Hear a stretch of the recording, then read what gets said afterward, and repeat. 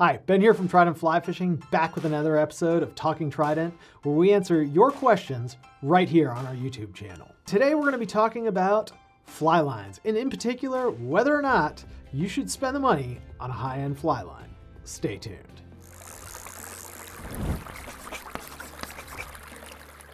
Now, before we get into these fly lines, don't forget to leave us comments, send us emails, and just let us know what your questions are so that we don't run out of material for our next Talking Trident. Now let's dive into these fly lines.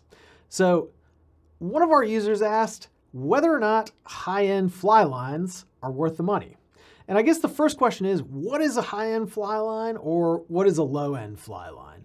And I think that's obviously gonna vary a little bit based on your budget, based on your income, but generally speaking, I think of a low-end fly line as something like a Rio mainstream here.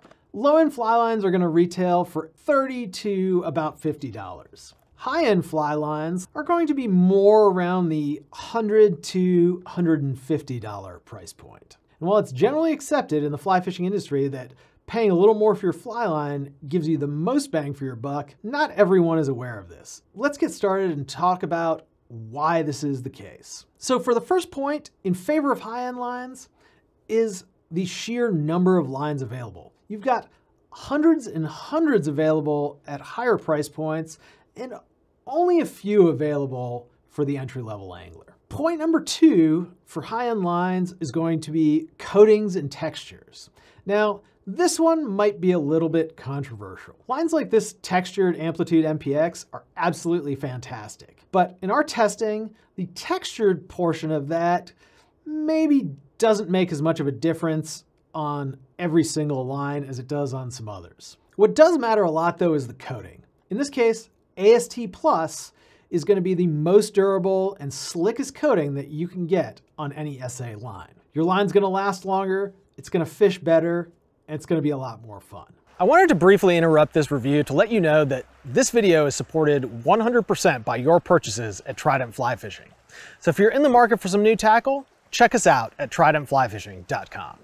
Point number three in favor of high-end lines is going to be welded loops. And welded loops are awesome. In fact, we've done a whole video on why welded loops are so much better than nail knots. Generally speaking, you're not gonna get welded loops on both ends with an entry-level line. On your high-end premium fly lines, you're gonna get loops on both ends almost every single time. And last but not least, our final point in favor of high-end fly lines is going to be the label on the line. You'll see right here, this line tells you exactly what it is on the fly line itself. No more sticking weird stickers to your reels or forgetting entirely what that line is, as I've done many, many times. It just says it right here. And of course, if you're a beginning angler and you've only got one line, that's not such a big deal. But if you've got a fly shop's worth of lines, trust me, it makes all the difference in the world. And that's it. So tell us what your favorite fly line is by leaving a comment in the box below. And if you've got questions about fly lines, don't forget you can give us a call at 888-413-5211 or email us 24-7 at support at tridentflyfishing.com. We've got a team of fly fishing experts ready to help. I'm Ben. Thanks for watching. We'll see you next time.